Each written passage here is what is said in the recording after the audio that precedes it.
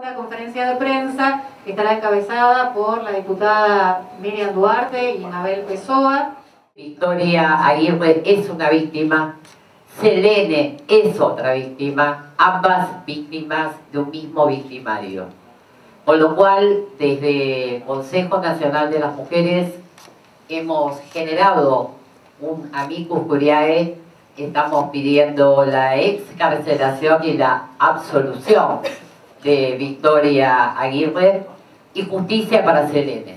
Ante la falta de conocimiento de lo que significa la violencia de género, los ciclos de violencia, de qué manera esa mujer queda atrapada dentro de la red que él va generando con ella y con todo su entorno, el agresor claramente considera a esa mujer un objeto, una cosa.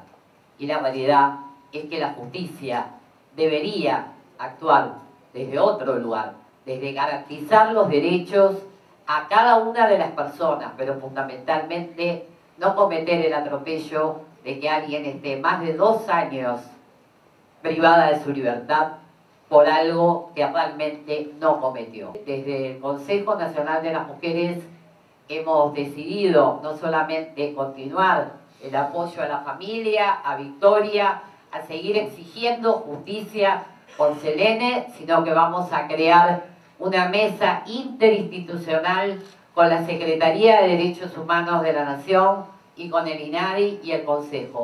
Y vamos a seguir de cerca y haciendo todas las medidas necesarias para poder garantizar justicia para Selene y libertad para Victoria Aguirre. Victoria está siendo juzgada por homicidio agravado por el vínculo, por la muerte de su hija Selene, por un hecho que no cometió, por un hecho, como decía recién Fabiana Túñez, del cual fue víctima. Eh, venimos a cuestionar también duramente a la justicia en misiones que le está juzgando. Una justicia que la pone en el banquillo de los acusados cuando en realidad ella fue víctima de la situación que vivió.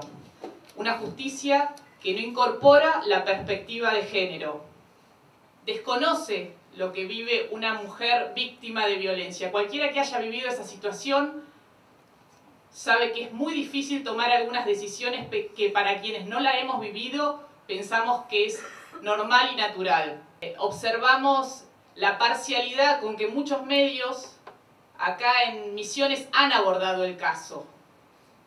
La han sentado en el banquillo de los acusados sin tener acceso o por lo menos interés en leer integralmente eh, el caso en sí mismo. Eh, existe el propio testimonio de Victoria. ¿Por qué la justicia no le cree? Y esa es una característica de la justicia machista y patriarcal que descree de la palabra de las mujeres cuando denuncian y piden ayuda. Lo hemos visto en infinidad de casos. La fiscal le pregunta, ¿por qué no pedías ayuda? ¿Por qué no te escapabas?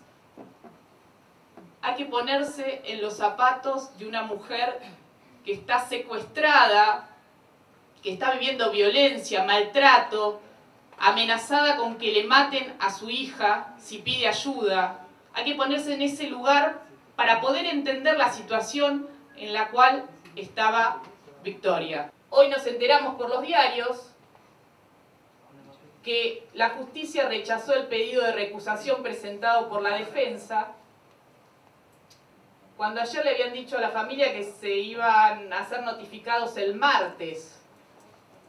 Y resulta que se enteran hoy por los diarios. Y ahí vemos nuevamente esa parcialidad de parte del tribunal donde las partes se tienen que enterar por los diarios de una resolución del tribunal.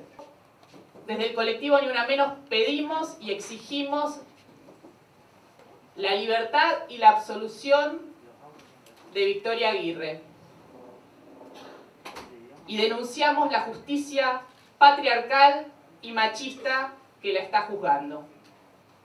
Muchas gracias.